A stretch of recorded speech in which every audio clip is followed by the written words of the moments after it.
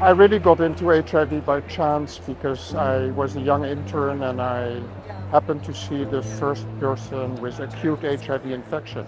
And this was in 1981, before the virus was even discovered. I was interested in infectious diseases and I basically stayed in the field for over 40 years. I just started as a young resident at the beginning of the epidemic, so we have no choice. He was passionate, we have everything to do. At the beginning, it was very complicated. No one uh, wanted to uh, be devoted to HIV because there was nothing to, to do, and uh, the patients uh, were uh, uh, going to die. So that, that was a terrible situation.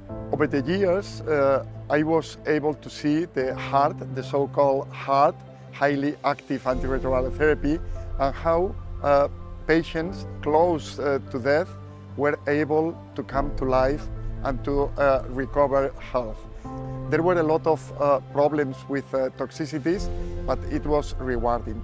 I realized at this time that this was a field of medicine where you know clinicians came together with clinical scientists together with academia and the community um, to lobby politicians to increase funding for research and clinical care and lobby the pharmaceutical industry to try and, and uh, accelerate discovery of new therapeutics uh, to push for a better life for um, our patients living with HIV?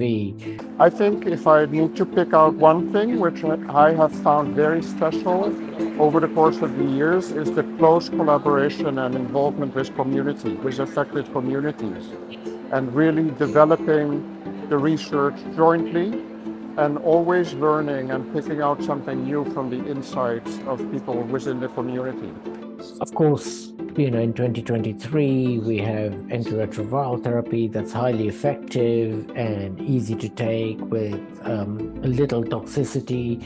We have pre exposure prophylaxis, we have post exposure prophylaxis, and we have testing available for a large number of people. Antiretroviral therapy has transformed HIV from a deadly disease into a manageable condition.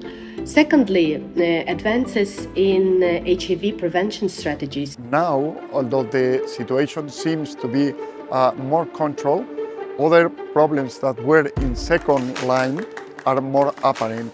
Those are stigma, discrimination, quality of life, mental health issues, and all those are the real challenges uh, today. So for me, it has been uh, a challenge, scientific, clinical, international, and uh, human rights challenge. And this is why I would say I never be annoyed being on A on HIV. Overall, what um, I find most fascinating is the combination of scientific innovation in HIV field, global collaboration, and resilience, advocacy, and power of the communities. It is important that we continue to educate the next generation of clinicians and scientists and collaborate with our community partners. There is a new generation which is maintaining the interest in being in the HIV field and carrying the torch. So that to a person like myself who's getting older, it's really very uh, gratifying to see that that is happening because it's necessary. There are still many fields to cover. The woman, the sexual health, many population discarded from the roots. So my message to the young is just go for HIV and fight for HIV and sexual health.